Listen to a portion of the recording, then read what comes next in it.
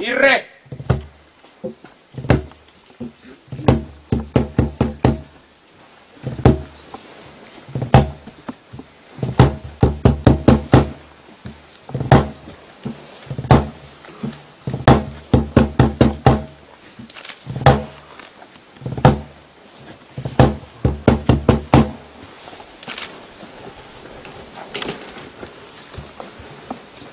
Fammi venire i sovrani di Francia e di Borgogna. Subito, mio signore!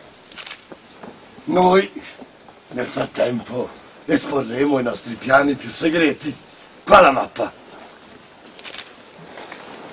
Sappiate dunque che abbiamo diviso in tre parti il nostro reame. Il nostro preciso intendimento di scaricarci dalle vecchie spalle ogni cura e negozio per trasferirle a ben più giovani forze, mentre noi, a lenti passi, ci trascineremo alla tomba. Mio caro Cornovaglia, e voi, non meno caro d'Albani, abbiamo fermamente stabilito di rendere di pubblica ragione le doti che assegneremo alle nostre figliole.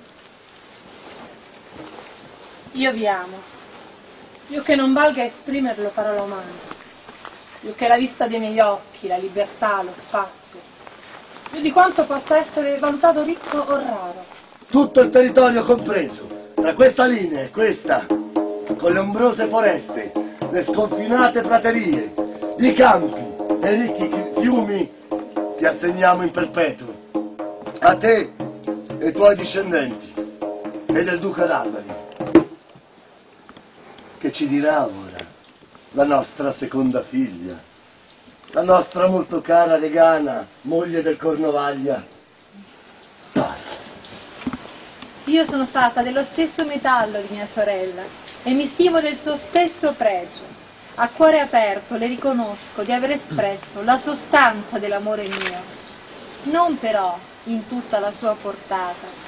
Io in più mi professo nemica di ogni altra gioia, anche la più squisita e raffinata al senso, che solo nel caro amore di vostra grazia trovo la mia piena felicità.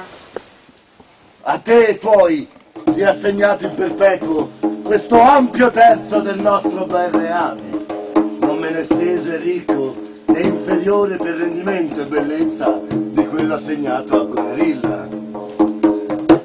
E ora a te, gioia nostra, per ultima, non ultima, alle cui tenere grazie aspirano a gara le vigne di Francia e i pascoli di Borgogna. Che mi dirai tu da strapparmi una terza parte, anche più ricca di quella delle tue sorelle? Parla. Che mi dirai? Nulla, mio signore. Nulla. nulla si ricava dal nulla.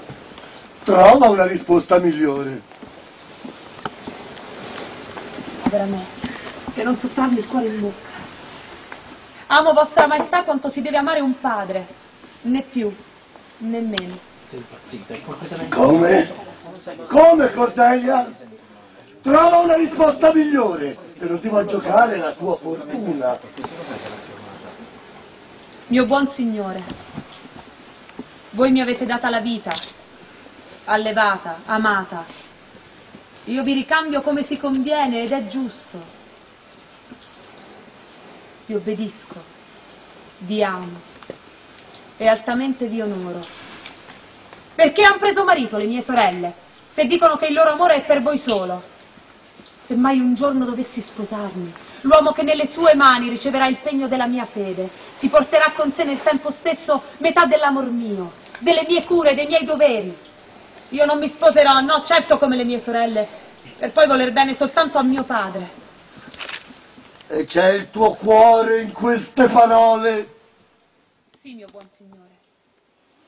Così giovane e tanto arida.